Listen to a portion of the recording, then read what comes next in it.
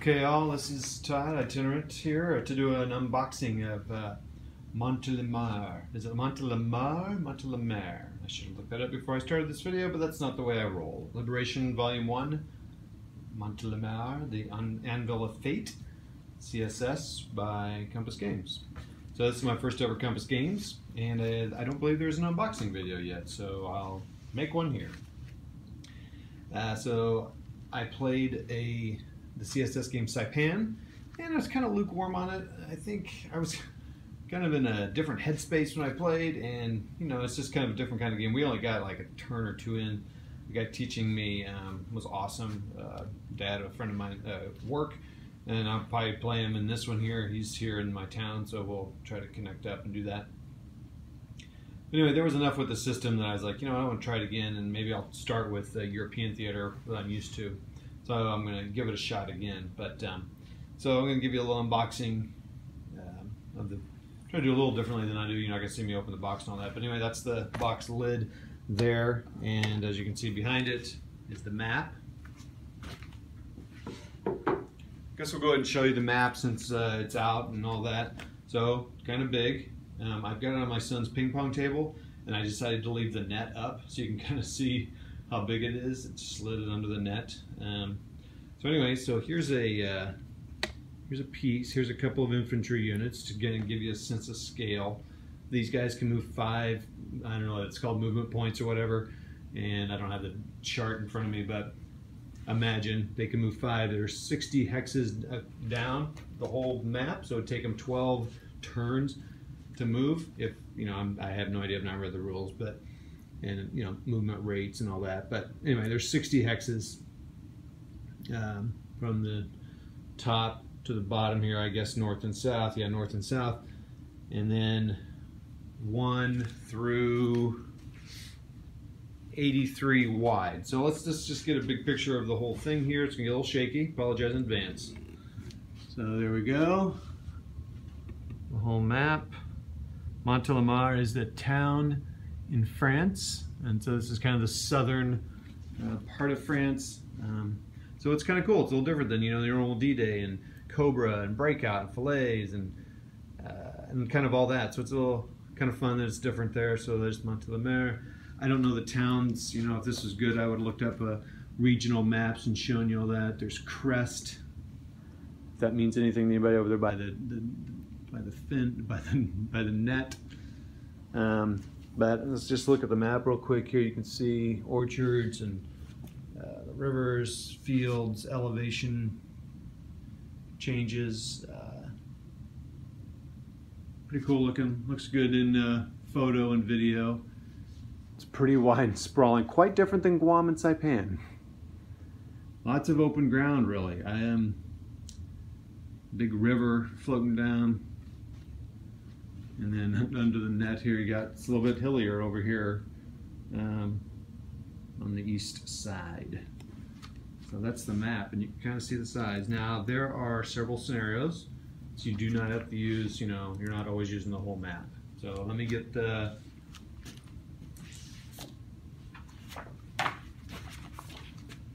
got your, uh, well, that's the scenario book and the rule book, which is generally the series rules. And if you flip it open, let's see if I can show you here. I like it. They describe, show all the, all the, they show all the chips and what they, all the counters and what, not all of them, but they show you many of them and give you very good details about all the status markers, leaders HQ, miscellaneous markers, um, so the general CSS rules have a marking and then the ones that are maybe specific to uh,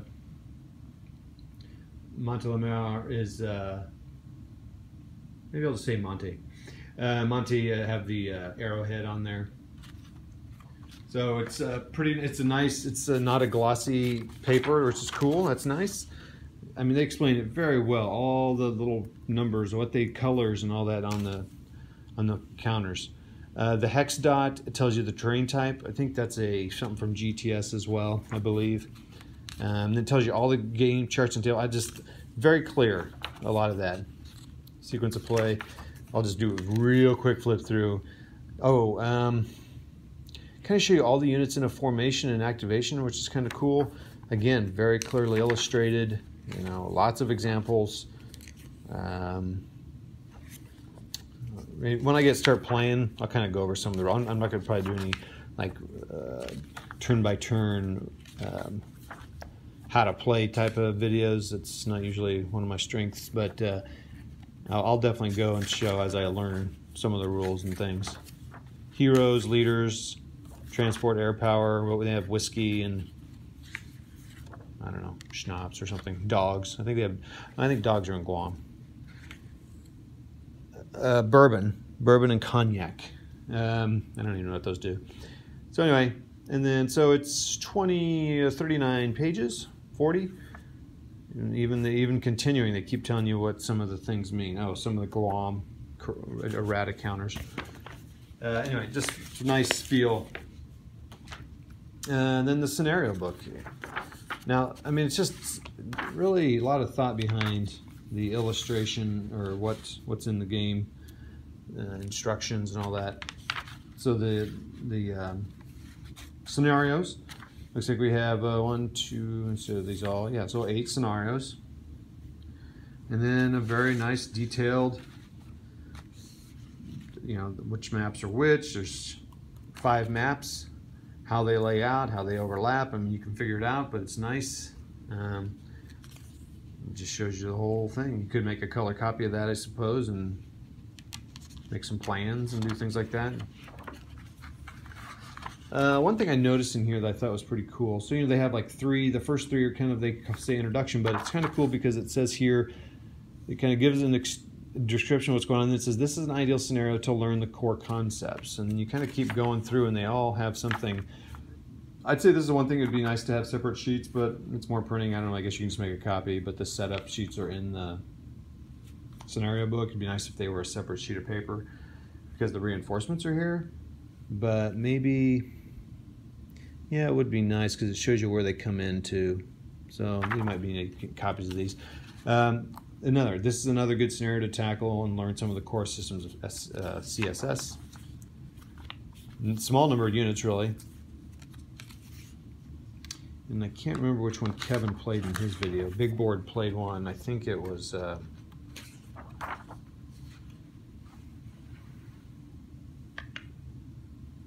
hmm. I'm not really sure which one he played. So, anyway, Kevin, he didn't play have a whole video on it, but he kind of talks about his experience with it. Scenario three, this scenario is an excellent scenario for those who want the feel of a larger campaign game without the time needed to spend on the whole game. Anyway, just pretty cool. Like I like the description. Anyway, that's that. And again, another abbreviated sequence of play. So just more, more tools there. Um, very nice, thick date, time, and weather display. I may have to, if I play the campaign game, I will have to use my son's ping pong table. I'm sure he'll love that. Fits perfectly, uh, actually. So this will be on there. I can kind of see. I gotta. I'd have. I'd have to get different plexi. I have a lot of plexi, but it's kind of just all variety of sizes. I'd probably want to get nice, big ones cut for this. You know, I don't know how looking at the daytime weather display got me on that track, but anyway. So that's that. Very nice thick port cardstock two dice. I love D10s. Something different. Um, charts and tables. Nice. Uh, just lots of color. Um, there were some people complaining about the like little weathering or the messiness on it. It's not as bad as I thought it was going to be. It's okay. Um, I'm, in, I'm indifferent. But pretty clear there. And then on the back of that, so you get two. So that's a good thing right? Um, and this is the terrain chart, pretty simple, but again with the color identifiers, sorry for me flipping you off. And terrain key. So what it looks like, but then also the dots. Um, anyway, there's that. Again, all this is on a nice thick cardstock here. So we got the uh, sequence of play again, just on another sheet, another way. Lots of little details here. Um, but that's what you get with a game like this. Okay. These are the German forces And you got uh, for Second Panzer Division, or is that 11th Panzer? 338th Infantry Division, 198th Infantry Division, 45th Infantry Division, 3rd Infantry Division for the Allies, 36th and Task Force Butler. So routed units, airstrikes available, transport pool, relocate, um, sorry, reallocating support weapons, available support weapons, available heroes. Tells you your command rating, dispatch, max troops. I kind of, I'll have to go through them. I haven't played it enough to know. General records track, I don't know. Oh, for your command points, command, uh, combat command, Sudre, Sudre, whatever. Um, okay. Counters. As you saw two on the map to show, I just wanted to show the scale. I really wanted to get there now. I have to figure out where I want to put those. It does not come with plastic. Wait, maybe I don't know where that plastic bag. I, I, did it come with one plastic bag for counters? Hmm. I guess uh, the box is pretty small for counter trays. I'm not sure how that's going to work. Anyway, have to see how people are sorting this. That. So looks like some of the allies. The chits are pretty easy to come out, so I want to be careful. I don't, I'm not really ready to do that yet. French forces, more American. There's five of these sheets, six, six of these sheets. German, some French, more German. 11th Infantry Division,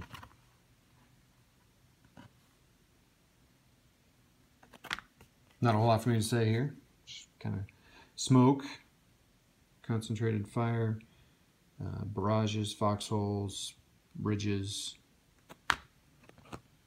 shell holes, foxholes, disorganized levels, pillboxes, disorganized, air support.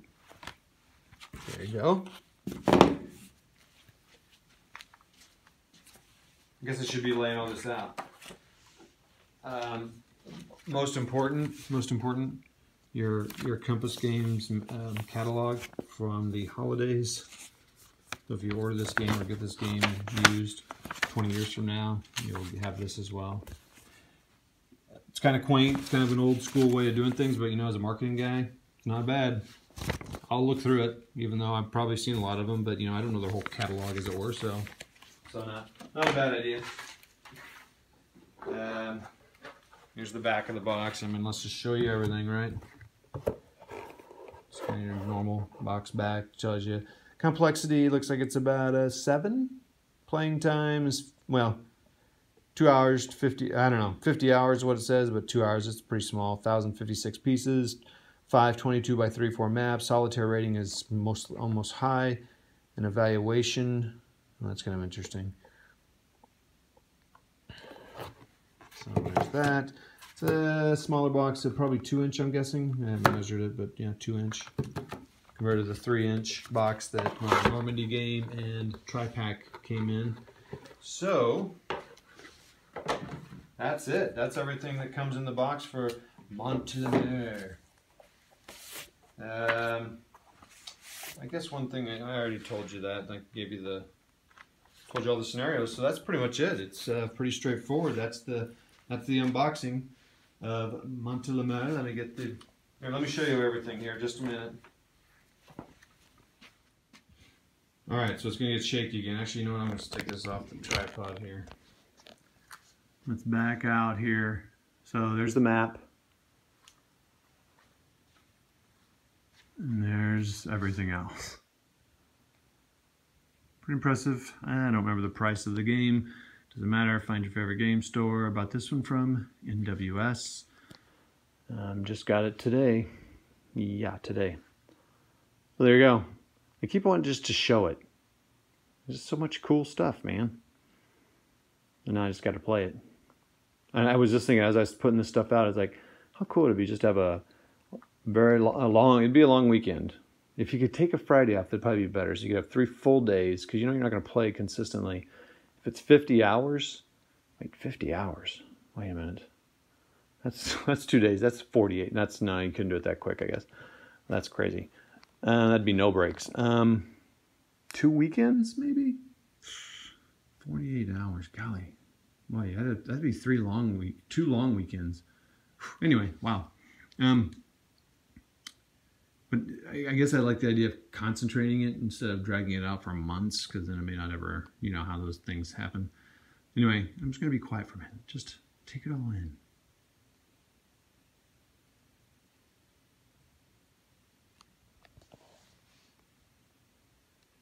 All right. That's that. Montelamar. I'm like, oh I really got to quit saying it. And I should have, you know, looked it up how to pronounce it. But there it is. Anvil of Fate. Uh, look for some more videos. I'm sure Kev will have some more, and I'm sure some other people will come out with some um, with uh, higher quality. Um, anyway, we'll talk to you later. It's been fun. See ya.